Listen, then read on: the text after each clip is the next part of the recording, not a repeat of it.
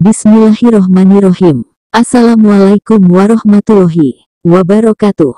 Salam jumpa kembali dengan channel Dunia Fana News. Perusahaan milik Ustadz terkenal Indonesia Yusuf Mansur, PT Apple Mas Indonesia dan Senandung Seputih Seden BHD Malaysia menandatangani kerja sama FDI, Foreign Direct Investment, senilai 4 juta dolar AS. Kerja sama FDI dengan perusahaan Malaysia akan menjadi bagian dari ekspansi bisnis PT AMI yang tengah berkembang seperti dilansir suara.com. PT AMI merupakan perusahaan yang bergerak di industri pengolahan mineral.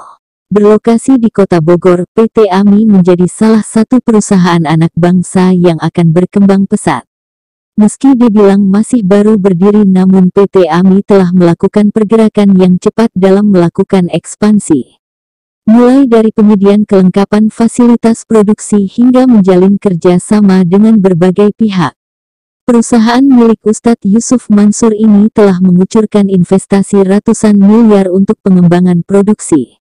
PT AMI juga telah mendapat kepercayaan dari banyak pihak dan diyakini sebagai salah satu perusahaan milik Ustadz Yusuf Mansur yang akan mengalami perkembangan pesat di industrinya.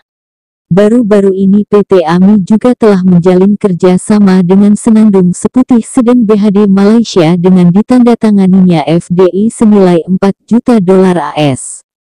Proses penandatanganan kontrak dilakukan secara langsung di rooftop hall kediaman UYM. Penandatangan diwakili oleh Direktur Utama PT AMI H. Widi dan CEO Senandung Seputih Syed Zaid Al-Hadad. Direktur Utama PT AMI H. Widi mengatakan bahwa perusahaannya tengah menargetkan pengembangan bisnis terutama dalam pengadaan fasilitas dan infrastruktur produksi. Sebagaimana pesan dari Ustadz Yusuf Mansur, setiap bisnis yang dikembangkan tidak hanya untuk profit duniawi semata tapi juga harus menjadi manfaat bagi umat.